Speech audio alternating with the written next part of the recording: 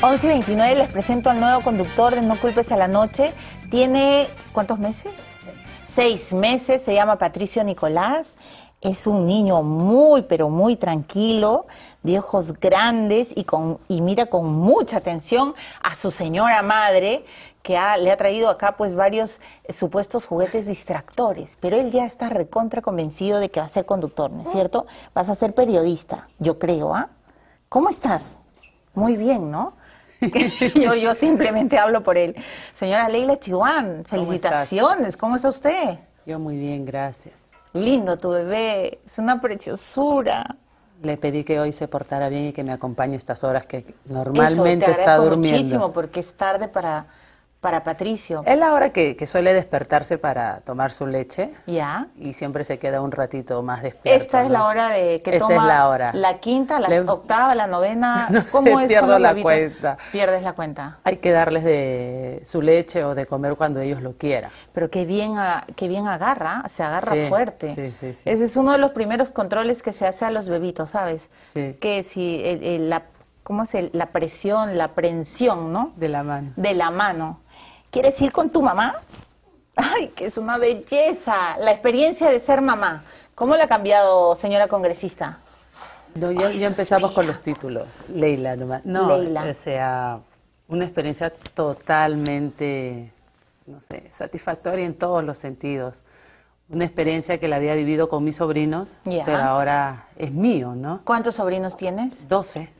Doce sobrinos. Wow. Y sobrinos nietos también. También tiene sobrinos y están, Dios mío, están todos, todos atentos a, a la pantalla, los más chicos. Y ya, entonces él tiene que salir para la historia en tus brazos. ya, ahora que eres el conductor más joven de la televisión, ahora tienes que ir con tu mamá. ¿Qué te parece? Él está, pero enamorado de las cámaras. Muy, bueno, es súper despierto tu hijo, ay, tranquilo. Sí, no, suele, no suele llorar, salvo cuando tiene hambre, ¿no? Es, es la manera natural que ellos reclaman. Ay, suspira, Dios mío, está suspirando este bebito.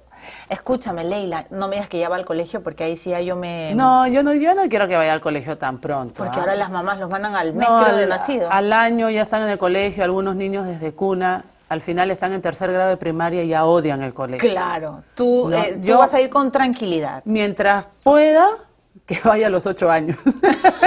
no, bueno, tampoco, tampoco, tampoco. No, Yo creo que ¿a qué edad tú fuiste el nido? Yo fui a los cinco años. Claro, como éramos todas, pues, ¿no? claro, ahora hay unos problemas terribles por, por, ese tema, ya lo sabes, ¿no? Que, mejor ni, meterse en el tema. Sí, pero no me parece, no sé si tú estás de acuerdo yo creo que, que tienen que disfrutar de la casa, de sus juguetes, del dormir a la hora que ellos quieran, de despertarse a la, a la hora que ellos quieran, y al colegio a partir de los cinco años, ¿no? Sí, claro, qué rico. ¿Seguro? No vayas a romper nada ahí. No, ¿eh? no rompas nada. Más bien, mira, este es el lapicero de la productora que es muy bonito, te lo regalo. ¿Qué te parece? Talía, hay que regalarle. No, tal, no, no, no. A ver, ¿quieres agarrar el lapicero? Muy bien, ahí está. Es un peligro darle lapiceros a los niños. Mejor, dale mejor sí. ya, yo creo que sí. no me hagas pagar cosas que ya en, la casa están Acá emocionados este, porque empiece a romper. Este, este, este, ni idea. Ni idea, ni idea. Tu mamá te está dando a ni idea. Tiene que ponerle nombre, pues se supone. A ver, ¿lo cargas tú para que salgas en la televisión con tu bebé? Muy bien, señor. Vamos, uy, ay, Dios mío, ¿cómo pesa? Sí, nueve kilitos. Nueve kilos. O sea, es fuerte y poderoso este niño, ¿ah? ¿Qué miras? Ah, te hemos cambiado de lugar. ¿Qué te parece? No lo tires. No, él quiere estar acá, al frente. Él quiere tener su programa. Leila, ¿cómo, ¿cómo imaginabas a tu hijo cuando estabas embarazada? Porque además me acuerdo mucho tu ilusión, eh, cuando conversábamos, decías... Esto cuando no dormíamos, Cuando no, dormíamos. al mismo pues tiempo, claro, nos hicimos eh, patas de Twitter, pues, ¿no? Sí. Porque no dormías y yo tampoco dormía. Pero, ¿cómo imaginabas a tu hijo y cómo es ahora esa maternidad que tanto la, la deseaste? Afortunadamente, las, las ecografías en 4D ahora te permiten ver ciertos rasgos, ¿no? Entonces, yo, yo sabía cómo, cómo era su nariz y su boca perfectamente. ¿Lo sabías? Lo sabía, tal, tal y como es ahora. ¿Cuándo te enteraste de que era hombre? A los tres meses, más o menos. Ya. ¿Querías hombre o querías mujer? Eh, mujer. Ajá. Porque hay muchos niños en la familia. Ya. Entonces le dije a, mi médico, que es mi médico de toda la vida, le digo, Jorge, si es hombre, ni se te ocurra decírmelo. Y él, por supuesto, ya lo sabía. ¿No te lo, lo sabía con tiempo. Y un día le digo, bueno, ¿y qué es? ¿Cómo? ¿No te he dicho? Mira, hombre. Nos queríamos morir todos, ¿no? Pero de ahí, bien, qué lindo. No, claro, lo, importante es que llegue bien, sano, está precioso. ¿Por qué Patricio Nicolás? ¿Por qué elegiste ese nombre? Porque estaba buscando, y son nombres que Patricio y Nicolás son amigos de sus amigos, o sea, es amigo de sus amigos, el que salva a su pueblo. Ya. Y Patricio es un santo también, sí, Y además es un nombre muy fuerte. Y Nicola es otro santo también, Nicola de Bari de la ciudad de Bari. ¿Cierto? No el cantante. No, yo lo sé, pero también Nicola de Bari, también el, grupo. Y, y, ay, Dios mío, ¿y este, este, este niño qué te ha enseñado? ¿Qué me ha enseñado a... Me está enseñando a, controlarme muchísimo, a que haya venido a mi ser la paciencia y que hay algo grande en esta vida por qué luchar.